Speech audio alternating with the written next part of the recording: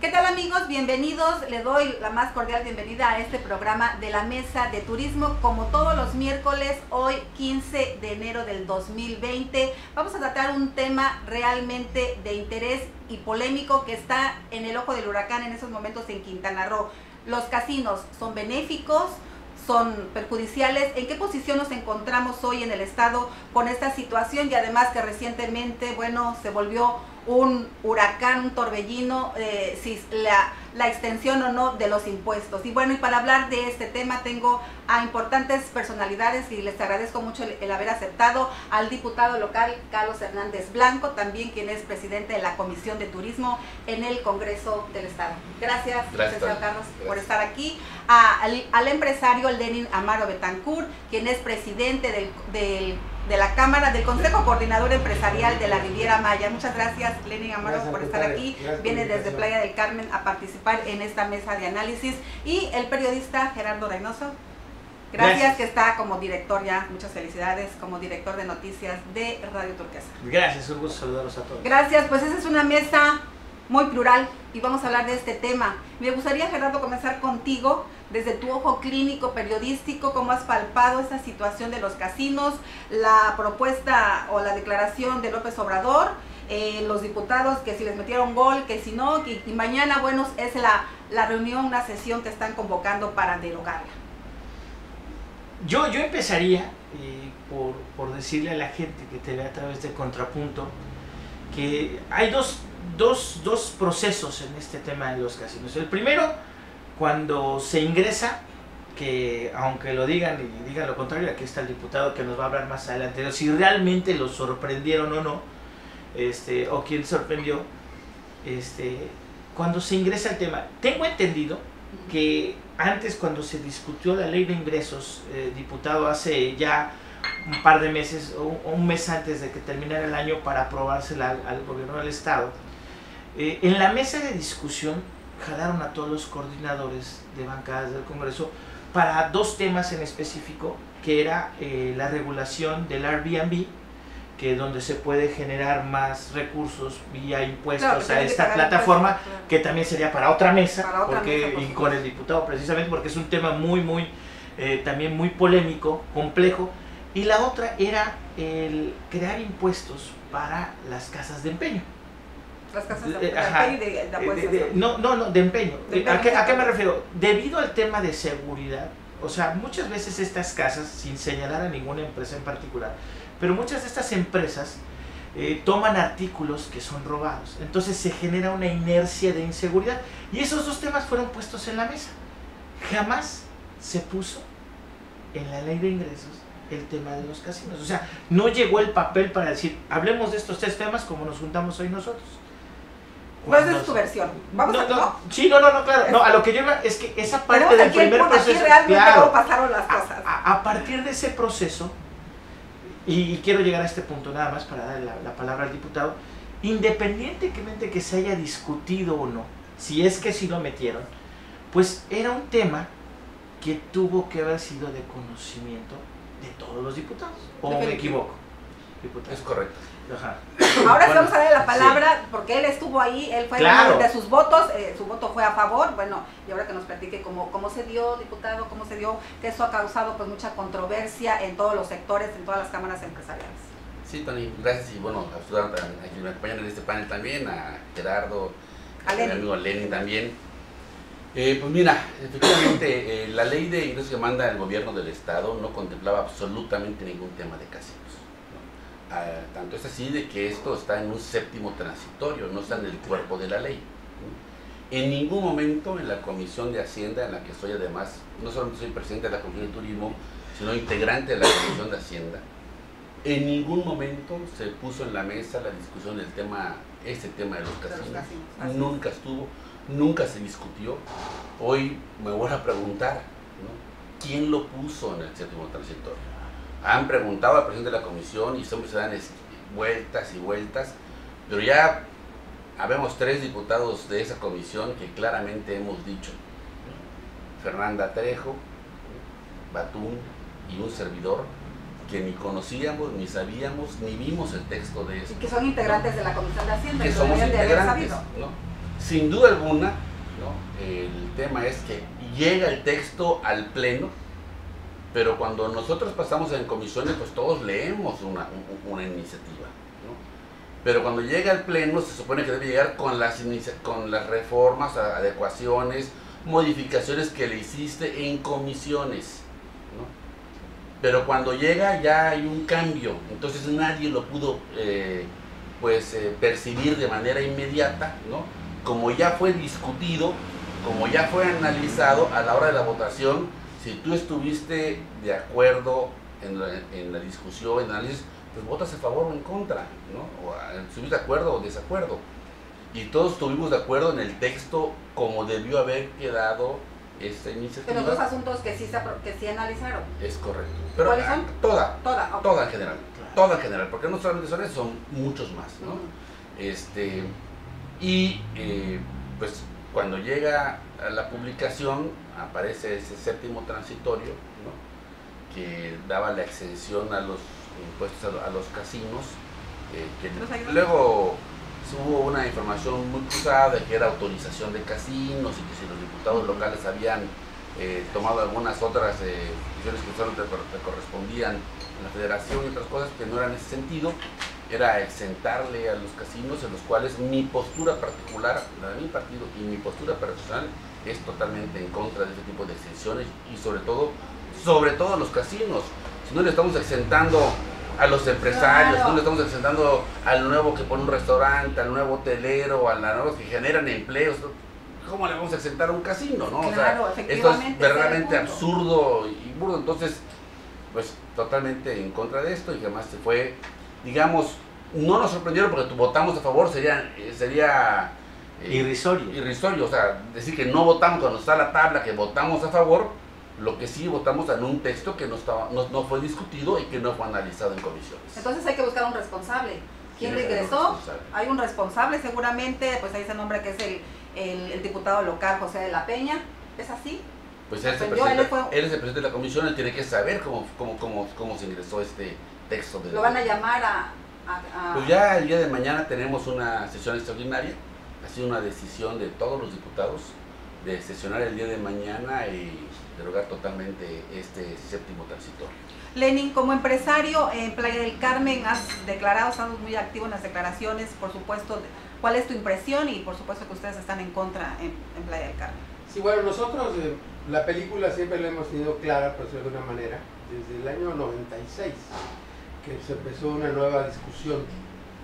Digo nueva porque desde 1907, en la época de Porfirio Díaz, había las primeras aprobaciones, habían casinos eh, y después en el proceso de los años eh, se prohibieron y, en el 96 se planteó nuevamente aprobar los juegos de apuestas. Eh, nosotros nos oponíamos, yo era presidente hotelero, porque no veíamos el beneficio turístico que se decía en aquel momento que pudiera tener y sí nos preocupaba mucho porque sabemos y hemos visto películas ¿no? del tema de cómo se desarrolló Las Vegas, Atlantic City después del, mismo de Las Vegas, y, no veíamos cómo país se pudiera tener el control y la aplicación de las leyes. En, en ese entonces había muchas dudas, como hasta ahora, ¿no? Siempre que en el proceso de todos esos años vemos que hay muy buenas leyes en México, pero ha habido un gran problema de la aplicación de las mismas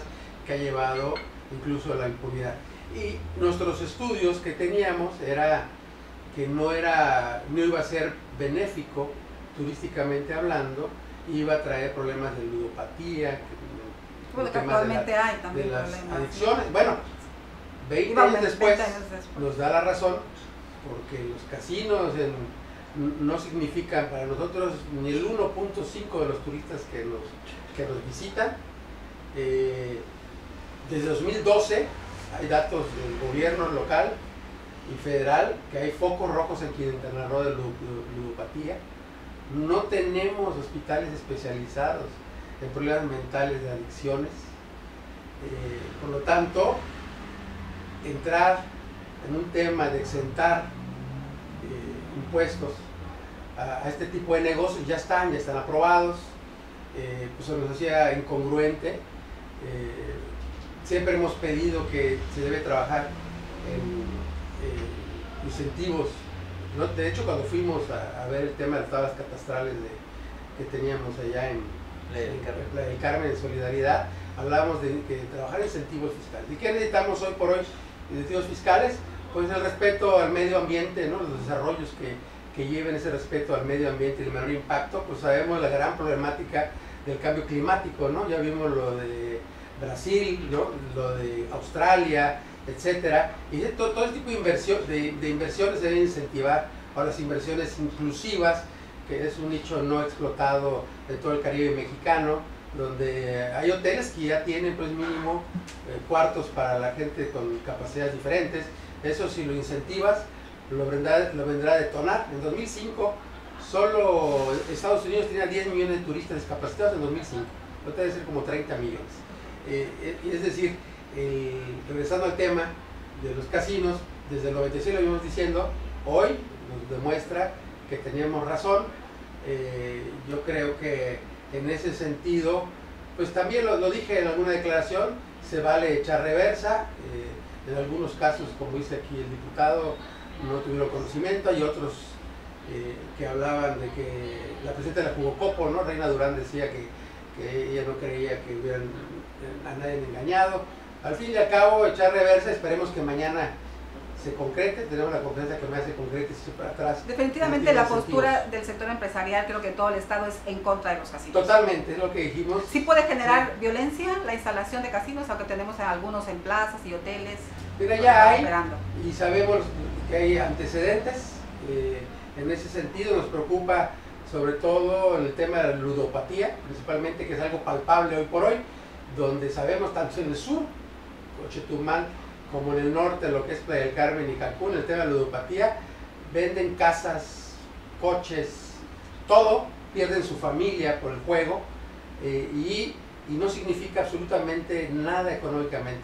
No somos, porque insistían en, el, por qué sí, en el argumento que se manejaba en el Congreso, que no sabemos todavía quién lo, presentó, se hablaba de las grandes inversiones que debe de tener y las ganancias que debe tener, eh, como en Las Vegas y como en, eh, como Nueva York, Atlantic City. Pues van a traer los grandes turistas de los campos nada más. Y, insisten en algo que no somos, no somos, y lo he dicho, ni Las Vegas, ni Nueva York, lo mismo se hablaba de un evento que querían hacer en en Playa del Carmen, sobre la quinta avenida de DJs y todo como Nueva York y Las Vegas. Y digo, no sé, tienen alguna obsesión de Las Vegas y Nueva York. Nuestro espíritu turístico. Cuando, es otro. Cuando creamos incluso la marca Riviera Maya, que a mí me tocó ser parte de que trabajando en esa marca, pues es respeto a la naturaleza, el, eh, la calidad del servicio del turista. el turismo es europeo y está acostumbrado a otro tipo de actividades. zonas arqueológicas debieron estar impulsando el enoturismo que tiene que ver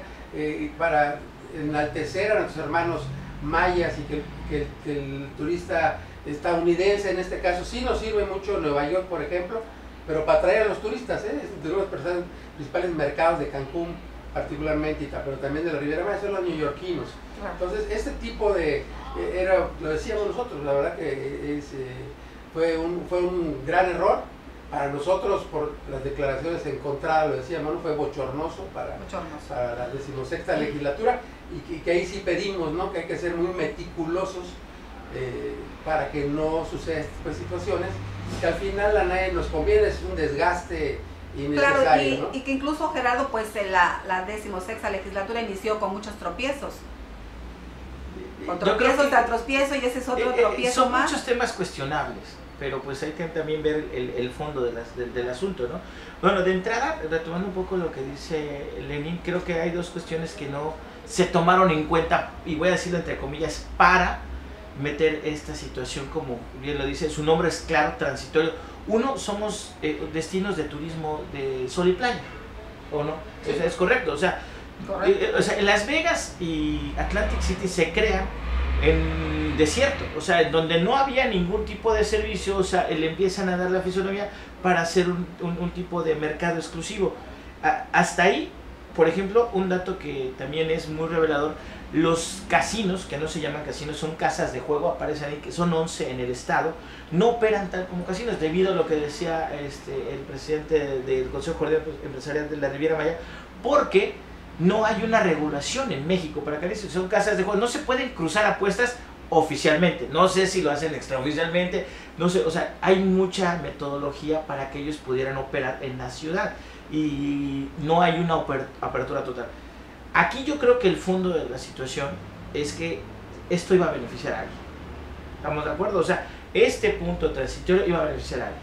O sea, dice en, el apartado que manda José de la Peña en su aclaración que él dice que no fue, pero curiosamente la mayoría de los diputados dicen, fuiste tú. Entonces, eh, se me hace también muy divertido cómo al final del día no se aceptan responsabilidades, ¿no? Eh, tengo entendido que había inversiones ya listas, tanto en la zona hotelera, dos en la zona hotelera, cuatro más en la zona continental entre Isla Mujeres y Cancún, donde hoteles que se están construyendo actualmente, no que se van a construir, que se están construyendo, que ya tienen permisos de licencia de construcción, pues iban a ser beneficiados.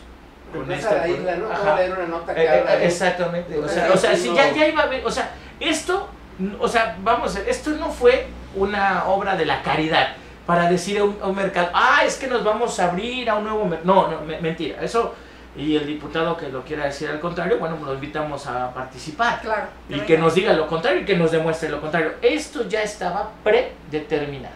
Estaba etiquetado. Sí, o sea, ya había un beneficiario o un grupo de empresarios que seguramente tuvieron, voy a decirlo en un modo suave porque no tengo todavía la información confirmada, conversaciones, por no decir negociaciones. De alto nivel conversaciones con, con, diputados, con dirigentes de partido, para que, para que se metiera esto. Y se metiera así. Ahora. Pero nadie se esperaba la declaración del no, presidente. Pero, pero yo sí me hago una pregunta. O sea, a ver, o sea, ¿realmente pensaron, realmente se pensó dentro de la Comisión de Hacienda?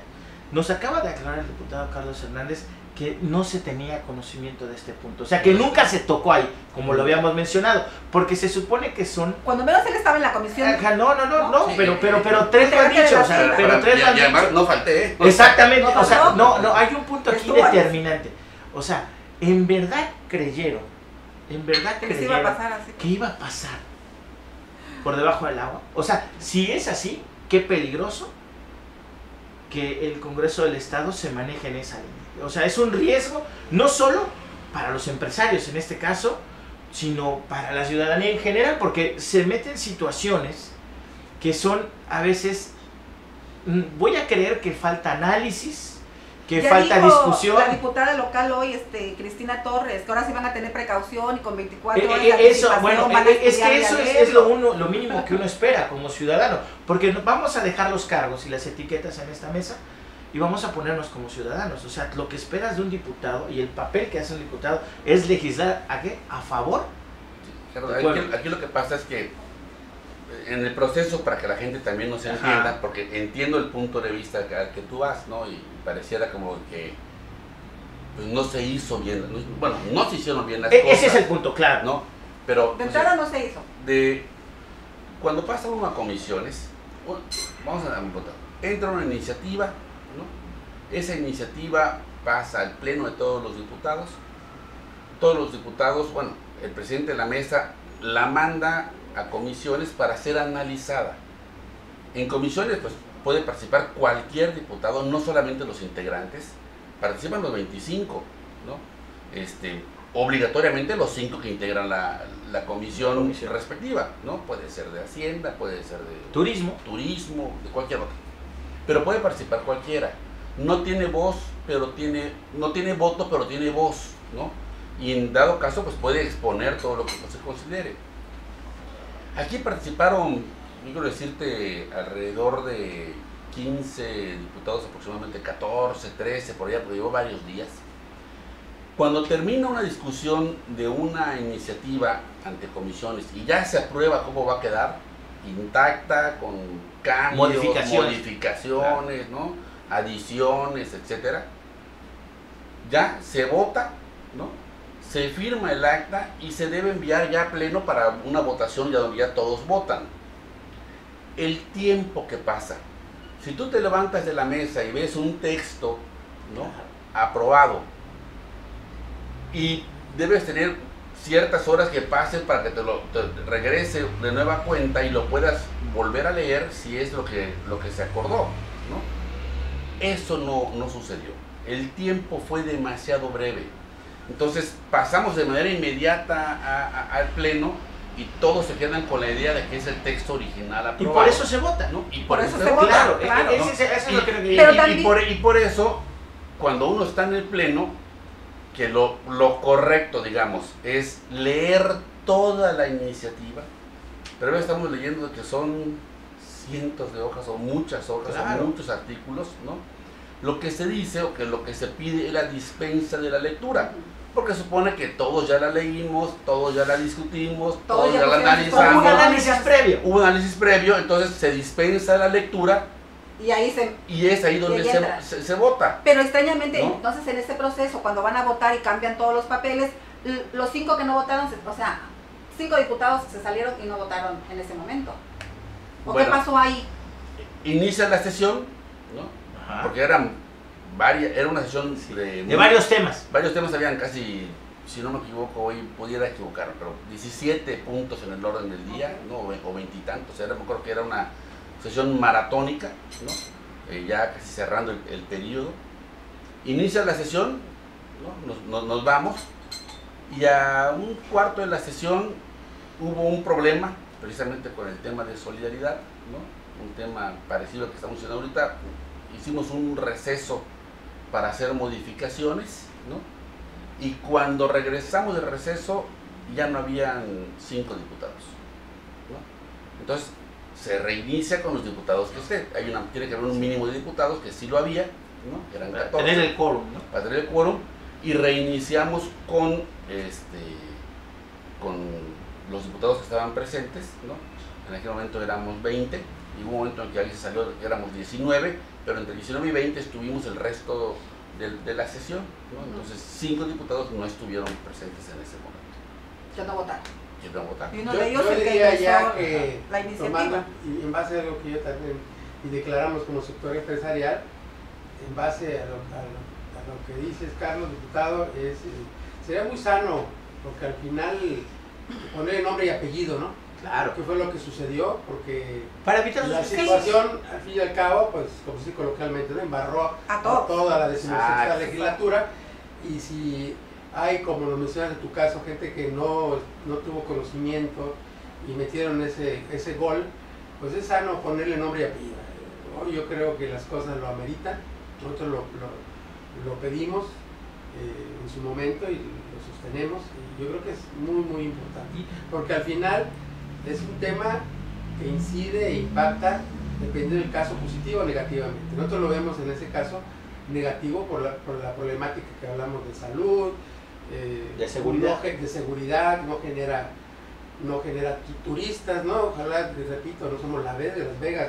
En algún momento llegó a ser, y los juegos en Estados Unidos, el 38% del ingreso de Estados Unidos en turismo y servicios, pero no tenemos ni esa capacidad jurídica y de aplicación de la ley, ni en el tema de los centros hospitalarios que necesitamos, lamentablemente, y muchas veces es al revés, ¿no?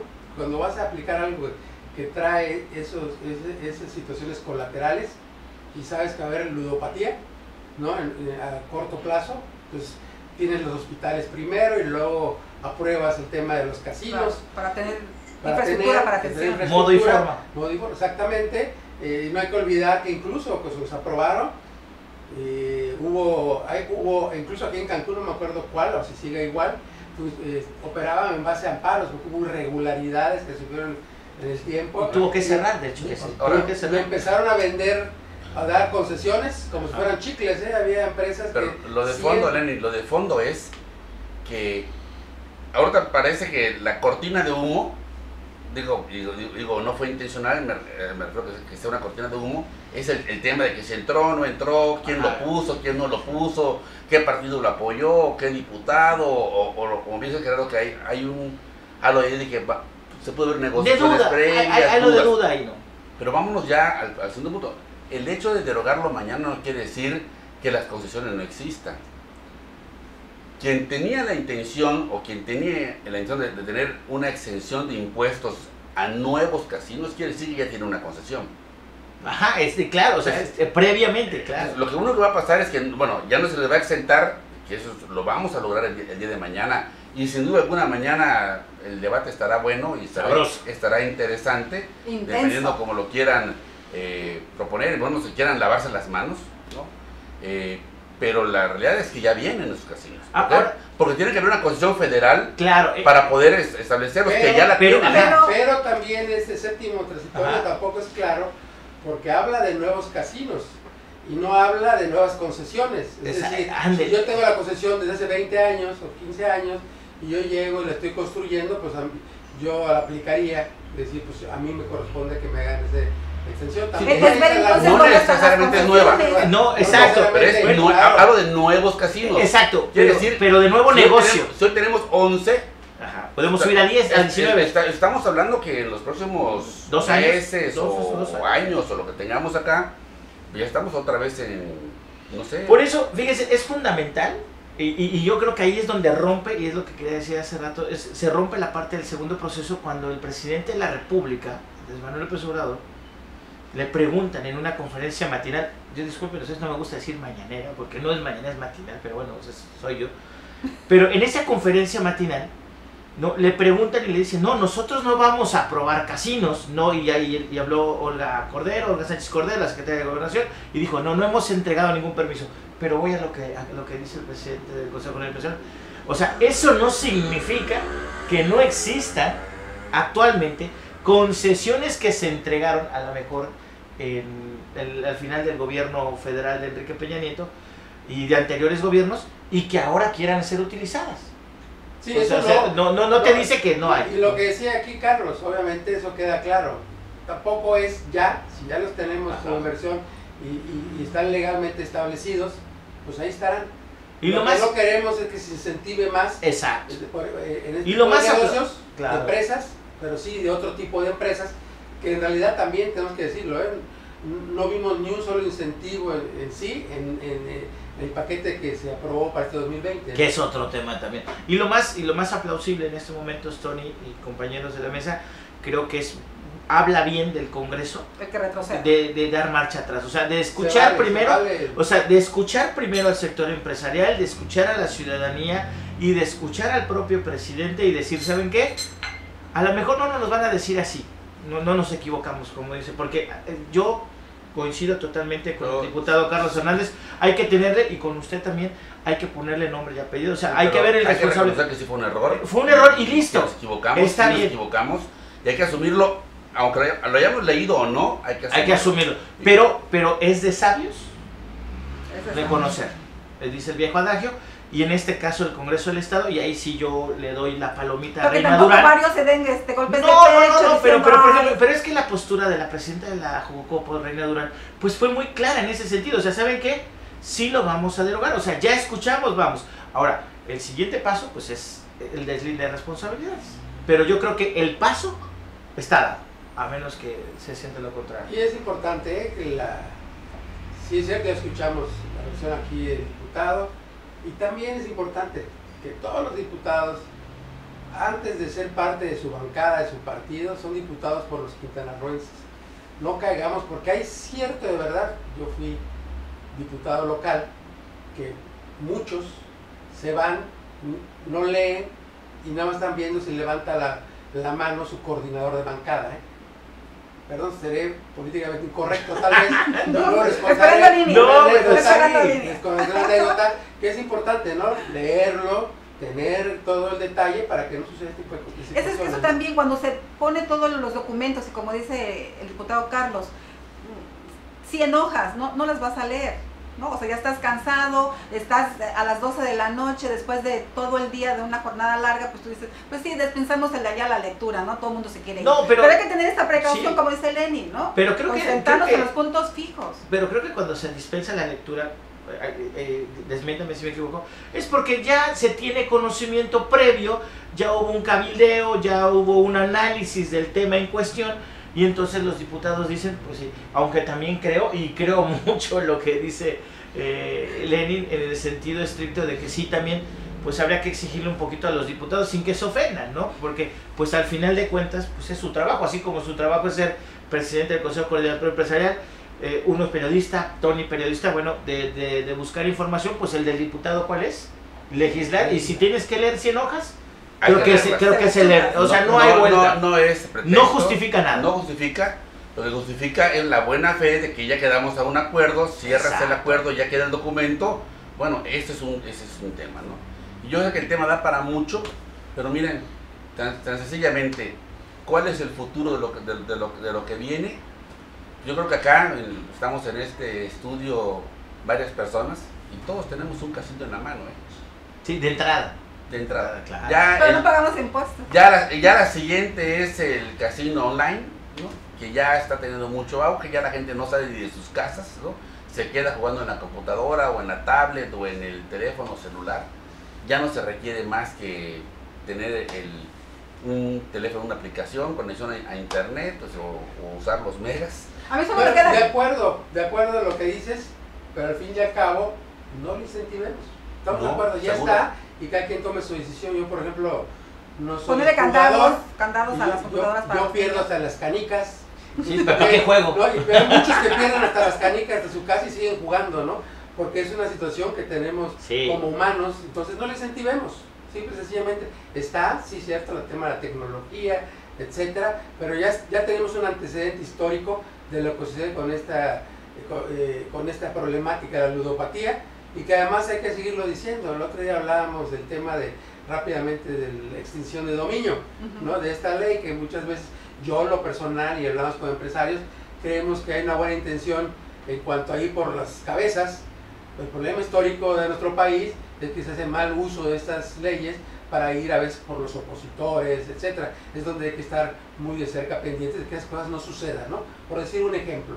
Y al final, el tema de, los juegos también, que, se hablaba en aquel entonces, porque es que había que regularlos, porque las peleas de gallos ya se da y en los palenques, eran otros los argumentos.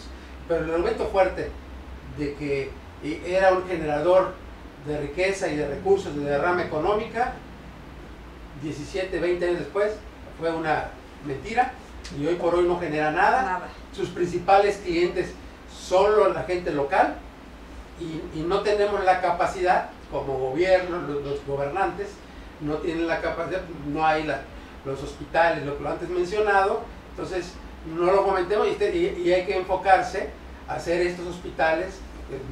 mantenemos ese foco rojo de 2012, ¿no? Por ejemplo, en, en Playa se está haciendo un, un esfuerzo del Centro de Integración Juvenil que encabeza Kena Moreno a nivel nacional, eh, Primor Angulo, una quintanarroense de muchos años, tumaleña que vive en Playa, y es una inversión para, para por cierto te lo ponemos, digo, no me lo pidieron ellos, Aprovechando. se necesitan 20 millones para tenerlo en Playa, que es un centro eh, neurálgico del, del Estado, donde puede llegar todo, 20 millones, que no es nada para justo manera que Sí, después lo que iban a sentar a los casinos, pues que, que- se vaya para que allá. se construye ahí y luego incentivamos a los casinos, ¿no?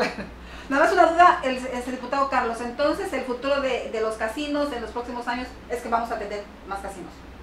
Yo creo que ya están las concesiones aparentemente. Si es tener una etiqueta, es segura, segura porque ya hay alguna concesión que está a la, a la, a la puerta. Lo, Y a mí lo que mira, me lleva mucho la atención, Cozumel es el primer lugar mundial en arribo de cruceros. El tema de los cruceros, los homesport, que siempre es otro tema polémico para nuestro estado. Una de las razones por las que los barcos no se quedan muchas horas en la isla, ¿no? que es una isla segura, que les representa para ellos muchas ganancias, etcétera, es porque desde hace muchos años, ¿no? desde que yo era presidente municipal de Cozumel, venimos y entrando la, esta la- la nueva ley de juegos y sorteos, porque no es una ley de casinos, juegos y sorteos. este, de juegos y sorteos que permitía la modificación de ciertas maneras del juego. Si a los, casi, si a los barcos, a los cruceros en Cozumel, cuando pegan a puerto, les permitieran tener sus casinos abiertos internamente, que además no puede subir ningún turista, digo, ningún ciudadano mexicano, no puede subir a un barco a, a visitarlo, a ver cómo está. No se puede, ¿no? Los barcos, las navieras decían, nos quedaríamos más horas, pero a nosotros nos representa estar con todas las tiendas cerradas, los restaurantes cerrados, los bares cerrados, el casino cerrado, nos representa pérdidas porque es como un tipo all inclusive. Sí, ¿no? porque hay que moverse. este, hay que moverse, entonces hay que salir, pero que además ni siquiera se van de aguas, inter- a aguas internacionales. Están en Porque aguas, les en la- llega, en la- pegan- en- En en- aguas Ajá. nacionales, nacionales. Ajá. en aguas nacionales, y ya están jugando, o sea, nada más se despegan del muelle Y ya vamos. y ya abrieron casinos. Entonces es, ilógico que esa parte no se les haya permitido decir, bueno, a los cruceros que están ahí parados puedan tener sus casinos abiertos y todos sus negocios internos abiertos y se permite, como bien dice Lenin, a que a poner casinos que van casi puro ciudadano mexicano, puro quintanarroense que vive aquí y que hay unos verdaderos problemas y serios de ludopatía que yo creo que ya hay que empezar a verlo como un, tema de salud. De salud pública, pues es que... Muy serio. Apuestan todos sus casas, todas sus propiedades, sí, con tal de seguir jugando, es muy grave. de todas de las, de las adicciones consideradas de mayor alto nivel, ¿no? De, alto riesgo. De alto riesgo, eh, que urge eh, que se, eh, tomar mayor cartas en el asunto y apoyar proyectos como este de el Carmen que digo. Muy bien, tenemos cinco minutos para cerrar la propuesta final este, de los casinos, perjudica o no, beneficia, nos trae este recursos o definitivamente pues hay que estar pendiente de que los que existan pues estén bien regulados y bien controlados por la ley. Yo diría que en conclusión de la, de la plática lo que, lo que me llevo es eh, se vale echar reversa, reconocer los errores, enmendarlos, como soy un compromiso en los medios de los diputados de la decimosexta legislatura, eso es bueno. Eh, en el tema de los casinos nosotros insistimos, primero resolvamos el tema hospitalario de la ludopatía y todos los problemas que llevan de manera colateral y posteriormente poder incentivar y enfoquémonos más a, inversiones eh, medioambientalmente eh, respetuosas, inclusivas y, otras más que, nos traerían de rama e, económica y, nichos de recaudación muy importantes, lo, lo no sé si en cámara o fuera de cámara, el tema de las rentas vacacionales que no están bien reguladas, que son una competencia desleal que lo vemos los pequeños hoteleros, me incluyo en ese sentido, ahí hay un gran nicho de, solo en, Solidaridad hay, hay 14 mil eh, lugares de rentas vacacionales. No digo Airbnb porque esa es una sola plataforma. ¿eh? Pero hay varias. Todas las plataformas manejan las rentas vacacionales. Pues lo tocamos en otro tema y también te invitamos para mucho que gusto participes en la mesa. Y Un minuto de cierre. Eh, pues igual, eh, primero, y qué bueno que estás el día de mañana, el día de mañana jueves, este, estaremos dando la cara, como dices, echando para atrás esta artículo, este séptimo transitorio que no debió haber estado nunca. Mañana es a las 5 a, las, a las 5 de, la tarde. Ahí estaremos, mi voto será obviamente a favor de, derogarlo, ¿no? O en contra, por decirlo algo de sí, mejor en contra, bueno, en contra de ese séptimo transitorio, este, y yo creo que hoy esto abre un tema, que es el tema de la ludopatía, un tema de salud pública, eh, y que yo creo que los casinos no han traído y no traen un beneficio adicional al turismo como tal, es un negocio más ¿no? que, que, existe. Ya eh, lo sé un momentito, ya lo puedes jugar hasta en línea, ¿no? O sea, no necesariamente tienes que ser un turista o no, en cualquier parte del mundo lo puedes jugar. Yo creo que no ha sido benéfico, no ha traído una gran derrama económica para nuestro estado. Sin embargo, pues es una, un negocio más ilícito que pues, tener una concesión lo pueden instalar.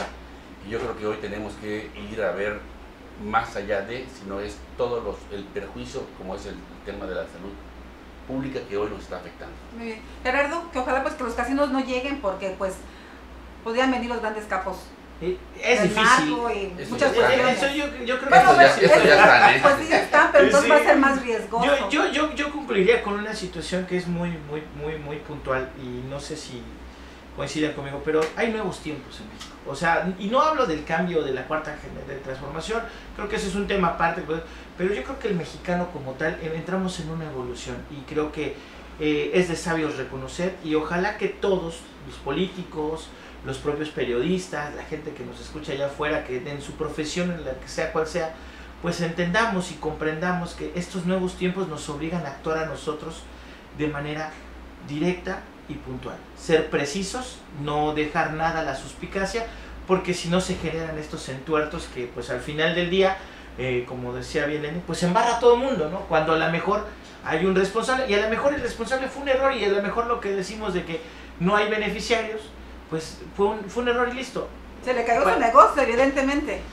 Y todo lo que haya recibido, ¿no? Y que los ciudadanos sean más participativos. Ándale, eso, ese es el mensaje, claro. Qué bueno y yo aplaudo también a los, a los sectores, al sector empresarial, a los consejos coordinadores de Cozumel, al Consejo Coordinador Empresarial, de Cancún, de Riviera Maya y de Chetumal, a los cuatro en una misma sintonía, sin ponerse de acuerdo, tengo entendido. O sea, simplemente cuando vieron dijeron, ¡Ey! ¡Ey! Está a este lado. Y bueno, también eh, hacer un reconocimiento, porque hay que hacer un reconocimiento público al Observatorio Legislativo, que se me hace un organismo que para estos nuevos tiempos ha funcionado, es positivo para todos nosotros. Hay que invitarlo, yo lo he invitado varias veces. Eh, eh, el, Observatorio Legislativo, y me puedo jactar de que participé con ellos en algún momento, busca exactamente eso, ¿no? Porque, o sea, simplemente claridad, o sea, porque tampoco se trata de ir a, a, a decir o no y pues qué bueno que mañana se deroga, que nos adelantan eso. Y espero que la discusión, más allá de quién fue, que lo tenemos que decir, también sea decirle a la gente, a los ciudadanos, como Congreso local, ¿saben qué? Reconocemos que tenemos unas situaciones y que vamos a mejorar en torno a ello. Porque sí siento que hay una gran posibilidad y se abre una muy buena oportunidad para todos los legisladores. Pues que no se vuelvan a reelegir ni vuelvan a votar no, pero independientemente de eso, pero para todos los legisladores, o sea, de los partidos que están en el Congreso del Estado, es una gran oportunidad porque mañana, y creo, y soy muy, muy creyente de eso, se va a hacer historia. ¿Por qué? Porque por primera vez en mucho tiempo en Quintana Roo no se reconocían los errores. Y después no se tomaban acciones a eso. lo tienen que reconocer. No, no, no, pero, no importa, o sea, bueno, ya pasó, o sea, tampoco podemos ser inquisidores, o sea, no nos porque e, eso eso es la parte que no me gusta, porque no hay que ser inquisidores, o sea, uno simplemente pone las cosas en el asunto, un periodista siempre debe ser claro en eso. Yo no puedo estar pasando todo el día diciendo, bueno, hay intereses, sí hay intereses, pero tengo que comprobarlo. Por eso yo dejé al descubierto, hay una investigación que se está haciendo, de hecho, no la hago servidor, la unidad de inteligencia financiera está eh, dirigida a, una investigación a un presidente de partido político y vamos a ver qué resulta de todo eso. Eso es O sea, eso ya es otro, eso es un más un mayor contexto. Pero me quedo yo, y te agradezco la invitación, con la historia. Vamos a ser partícipes de la historia y me da mucho gusto que los diputados locales actuales, todos, sin excepción, han decidido ser parte de esa historia, que es reconocer y escuchar a la ciudadana. Y que den la cara. Está bien. Como está aquí el diputado Carlos que viene, con tu, con tu comentario ponzoñoso, pero bueno, claro, ya lo, lo, aclaró. Pues muchísimas gracias, por supuesto que este tema da para más. Seguramente vamos a estar dándole continuidad. Muchísimas gracias y que a ver si nos puedes traer entonces al presidente del observatorio. Vamos a ver si le convencemos. Es Eduardo Galaviz. Eduardo Galaviz, pues a ver si lo convences. Acabamos de un convenio, la, esa sí, legislatura, sí. con el observatorio para... Y, y, no, y que fue muy bueno, porque eh, por eso digo que estamos en un punto de nuevos tiempos y de nuevas oportunidades en toda en materia política, económica, y yo creo que de ahí tenemos que partir para que el Estado mejore. Pero el Estado somos todos, no solo los políticos y no solo los empresarios. También la gente de a pie es Quintana Roo. Así es, pues vamos de la mano con esto para esta nueva historia. somos Ciudadanos. Ciudadanos, claro. pues vamos de la mano con esto para, para salir adelante y que este 2020 pues efectivamente nos vaya bien. Y también cuide su dinero, no lo malgaste, no vaya a los casinos ni a las casas de apuesta. No queremos después que diga, ay, pues ya perdió todo, no perdió todo. Y luego, no, y la culpa lo tienen los diputados, pues no. Tenga mucho cuidado, pásela bien. Nos vemos el próximo viernes en nuestra mesa de cultura para analizar también cómo vamos en cultura y bueno, si efectivamente cómo van los artistas. Ya tenemos este, planeado la próxima mesa. Muchísimas gracias. Nos vemos el próximo viernes. Gracias al panel por acompañarnos. Gracias. Hasta luego, gracias.